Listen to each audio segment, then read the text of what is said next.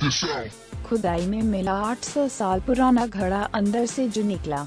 उसे देख हुए हैरान दुनिया के कई आर्कियोलॉजिस्ट्स को खुदाई के दौरान नई चीज़ें मिलती आ हैं। ये चीज़ें सदियों पहले किसी न किसी वजह से ज़मीन से काफ़ी नीचे छुपा दी गई थी या दब गई थी यूएस के विस्कॉन्सिन में।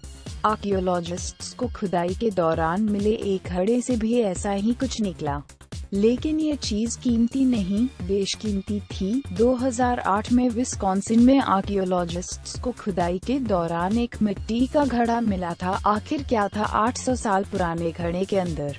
सभी उस घड़े को देखकर रच रज में पड़ गए। क्ले से बना ये घड़ा 800 साल पुराना था। जब उन्होंने घड़े को खोलकर देखा तो उसके अंदर से जो निकला, उसने सबको हैरान कर दिया। दरअसल घड़े के अंदर कुछ बीज रखे हुए थे, जब आर्कियोलॉजिस्ट्स ने उन बीज को बोया तो हाल ही में उससे जो पौधे निकले, वो विलुप्त हो चुके। स्क्वाश की प्रजाति के निकले। आर्कियोलॉजिस्ट्स के साथ साइंटिस्ट्स भी हैरान हैं कि कैसे एक घड़े के अंदर 800 साल बंद रहे बीजों ने गायब हो चुके फल को फिर से ज़िंदा कर दिया।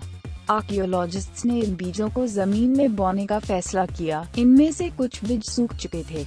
लेकिन कुछ बीज 800 साल बाद भी ज़िंदा थे। इन बीजों से स्क्वाश एक तरह का कद्दू के पौधे निकले। ये स्क्वाश आम पौधों से बड़े थे और इनमें लगने वाले फल का साइज़ भी नॉर्मल स्क्वाश से बड़ा था। बाद में पता चला कि स्क्वाश की ये प्रजाति सालों पहले विलुप्त हो चुकी थी, लेकिन इस घड़े से मिले बीज की वजह से एक बार फिर से लोग इस फल को खा सकते हैं।